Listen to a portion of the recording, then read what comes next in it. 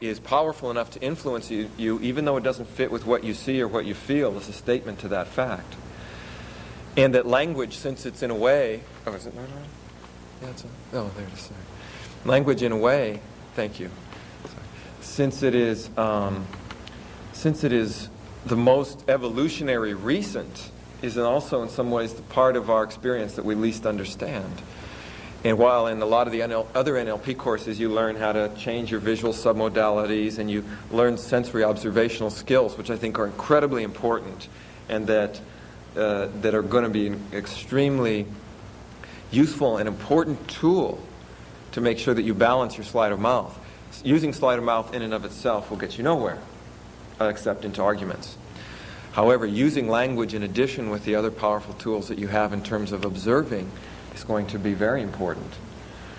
And what we wanted to do is to identify some of the structure of how language worked, how it gets its power, as its own reality.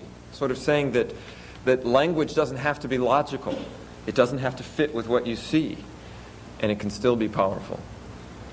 Um, the ways in which we explored that were how language can create meanings by creating categories in my own personal experience, I remember a time when John Grinder, one of the early classes that I went to, you know, I was talking about how I walked into this class uh, 12 years ago. One of the assignments that he gave in the next class that I had with him was one that I, I will not forget. It was an assignment where he said, Find something that you've never really paid much attention to before and name it and notice how it changes your perception. Just make up a name for it and notice how it changes your perception. And in going up and talking to him afterwards, I, you know, saying, well, what kind of things would you, you know, are you interested in? Or, you know, we are just kind of talking about it. At a certain point, my eyes shifted over into the left. And he said, well, what about that? And I said, what? He said, your eyes just went over. Your eyes just moved. I said, mm. Tried to figure out, well, what was going on?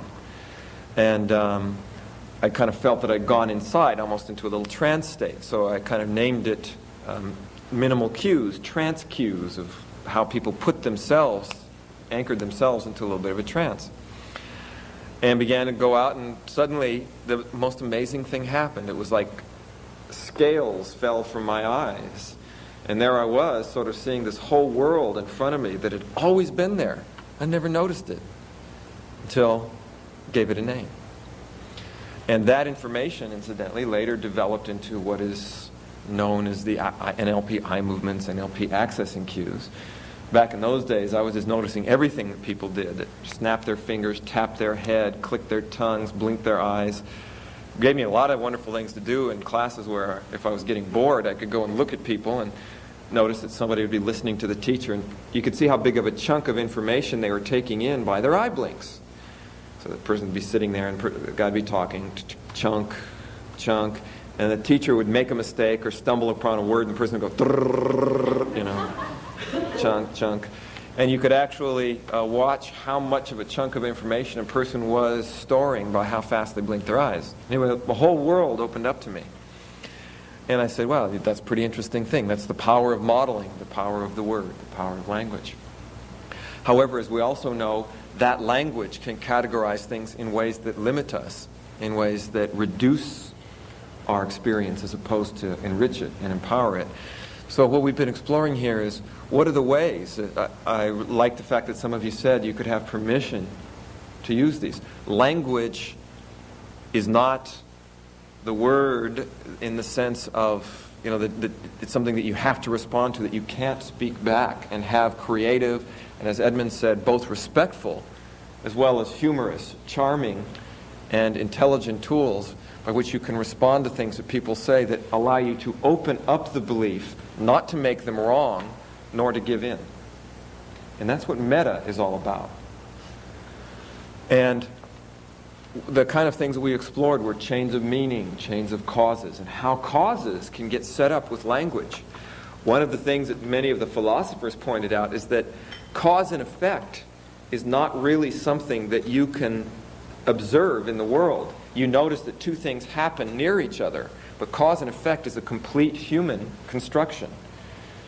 You really can't tell that something really caused something else. You can't observe it. All you can see is that two events happened in the same space and time, and cause is, is actually something that we put to it, which I think is a very powerful sort of way of thinking of what language can do. When I say this causes that, I've suddenly made a reality. We also talked about comparing. Comparisons to what? Rich compared to what?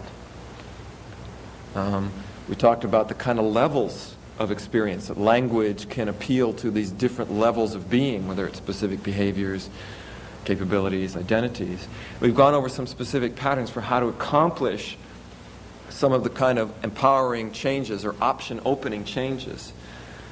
The fact that a number of you mentioned humor, I think, is good because humor is a state that occurs when suddenly you learn something. One of the, one of the most fascinating things I remember about watching Moshe Feldenkrais work was that he pointed out that when people really learn something, like if he would, he was, I remember seeing a video where he was working with a child, this is an interesting thing about beliefs, who had um, cerebral palsy. And his legs were being pulled together, like, you know, they rubbed together, and he couldn't walk very well. Three different surgeons had told the parents that the only way to deal with that, the only way for him to walk without damaging his legs, would be to cut the adductor muscles on his legs, which would then make them, of course, they would atrophy and become useless. So he would lose something. Within 20 mi- minutes, Erickson had, uh, Erickson, confusion of a, the same logical type, actually. Feldenkrais had this young man walking with his legs open just by touching and moving and kind of doing a kinesthetic sleight of mouth, I would call it. And uh, one of the things that happened, there was a certain point when all of a sudden that child started laughing. And you knew that he'd suddenly figured something out that he didn't know. And Feldenkrais said, That's right, you should laugh when you learn something important. That's the state that you want to attach to it. And I think, in a way, humor and the whole idea of beliefs fitting in with humor and moving around there is something that's really important. So, we learned some things about going to consequences, intentions, applying to self, metaframes, the various kinds of places that you can go to respond or frame a belief. Now, in doing this kind of work, uh, I have a little metaphor I'd like to kind of give you at the end of this program. I have a couple of, actually, a couple of things I'd like to say. But first one is a metaphor about a young fellow who was learning drafting. And um, he went to study drafting, and he, he had this very, I mean, it was, drafting was something that was really important to him because he felt that drafting was was one of those things, that was kind of a, an expression of what was really fully creative in people. For example, you took something that was a dream, a complete idea in, in somebody's mind, had no physical existence whatsoever, and you represented it. You made a map out of it. And from that map, somebody could actually take that and make and manifest that thing in the world. And I believe all map making functions are that way. So I, as an aside here, I believe that NLP, NLP is not a bunch of techniques for communication. NLP is tools for dreamers. NLP is tools that allow you to take things that are just conceptions and forge them into a map that allows you to manifest them physically in the world. That's what creativity and genius is all about, in my opinion. And this young fellow was able, you know, he got that, and he really was, he had so many dreams that he wanted to manifest in terms of the kind of things that he saw in his mind. And so he went and he learned his class, learned in this class, and he learned all about things like how important it was if you're going to build a house to have a good map. The map needed to represent things not only in the small details, but it needed to represent